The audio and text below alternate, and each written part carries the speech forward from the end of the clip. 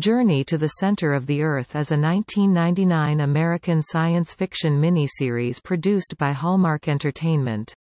It stars Treat Williams, Jeremy London, and Bryan Brown. It is based on Jules Verne's classic novel Journey to the Center of the Earth.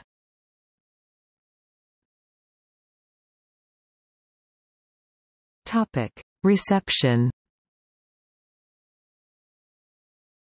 Journey to the Center of the Earth received mostly negative reviews from critics.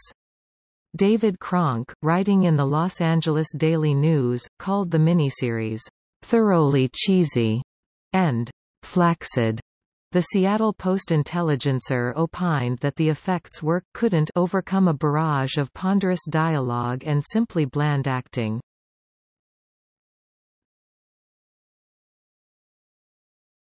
Topic. Plot Theodore Litton is an avid geologist and paleontologist who is aided by his nephew Jonas Litton, a Harvard graduate. Theodore seeks for ways to finance his undertakings, including illegal street fighting. After one of his lectures, Theodore is approached by Alice Hastings who finances the Litton's journey into the center of Earth on a quest to find her lost husband Caspar Hastings. Caspar had seven years prior gone to seek a fortune of gold rumored to exist far below the Earth's surface. The Littons meet McNiff, a gun for hire, in New Zealand. The Littons, McNiff, and Alice Hastings find their way miles underneath the Earth's and reach an underground sea lit by a gaseous anomaly that provides light and life to this underground world. After traveling across the sea, the travelers encounter dinosaurs, two human settlements, and a humanoid reptilian species, the Solaroids, that may have evolved from dinosaurs. Alice is captured by the Solaroids. The group find Caspar Hastings, who years prior discovered the humans, taught them English, and then endorsed a polygamist culture inducing a split in the human settlement.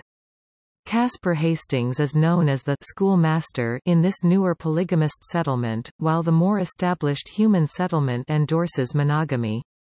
There is friction between the human settlements and also with the Solaroids. Caspar, joined by the Littons, free Alice from a Solaroid prison cell and return to Casper's settlement. There he reveals his plan to leave for the surface, with his wife and the Littons.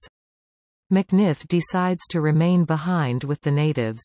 Casper also reveals a mysterious plant with nearly magical healing remedies and intends to market it on the surface. The group of travelers, now joined by Ralna, a native tribeswoman for whom Jonas develops strong feelings, begin their journey to the surface. Casper is killed by the Solaroids before reaching the sea. The four travelers sail across the sea and begin to head back the way they came to the surface. Ralna, sensing danger, leaves in panic and is separated from Jonas. The Littons and Alice reach the surface through an underground vortex that feeds water to a lake on the surface. It is discovered the magical plant dies within a few hours of being on the surface. Weeks later, Theodore and Alice are engaged to wed while Jonas, who was previously engaged, leaves his fiancée to find Ralna in the underground world.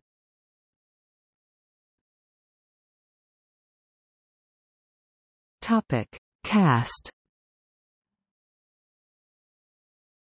Treat Williams, Theodore Litton Jeremy London, Jonas Litton Tushka Bergen, Alice Hastings. Hugh Keays-Byrne, McNiff Bryan Brown, Casper Hastings. Tessa Wells, Helen. Petra Yared, Ralna. Sarah Chadwick, Mashona Topic: Featured species. Raptorsaur or Elasmosaurus shown with a Ceratosaurus horn and Stegosaurus plates and spiked tail, incorrectly thought to be strict vegetarian with occasional lapses and thought to be in late Triassic and early Jurassic. Devonian fish identified as belonging to the Aspidocephali.